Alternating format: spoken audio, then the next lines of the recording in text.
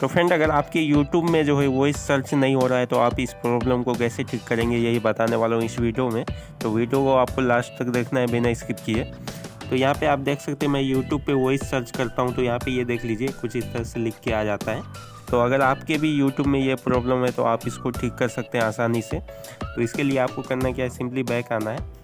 Back आने के बाद आपको ऐप मैनेजर में चले जाना है। तो यहाँ पे ये देख लीजिए यूट्यूब पे लॉन्ग प्रेस करूँगा और यहाँ पे देख सकते हैं ऐप इन्फो का ऑप्शन आ गया है।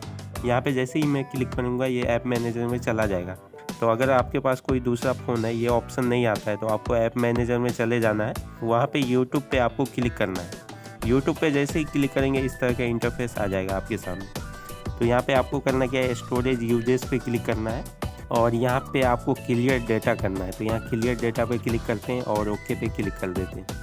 तो मैंने जो है यूट्यूब का डेटा जो है क्लियर कर दिया है। आपको इसी तरह से यूट्यूब का डेटा क्लियर करना है, उसके बाद यूट्यूब को ओपन करना है।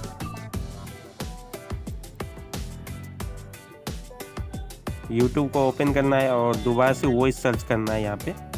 तो जैसे ही मैं वॉइस सर्च वाले ऑप्शन पे क्लिक करूँगा, यहाँ पे ये देख लीजिए मैं परमिशन मांग रहा है। तो यहाँ पे मैं अलाउ पे जैसे ही क्लिक करूँगा, ये प्रॉब्लम मेरे में ठीक हो जाएगा। तो आपको इसी तरह से अलाउ कर देना है। तो अगर आपके भी यूट्यूब में ये प्रॉब्लम है तो आप इसी तरह से ठीक कर सकते हैं। तो आज की वीडियो में मैं यही बताने वाला था। आई होप ये वीडियो आपको पसंद आई हो।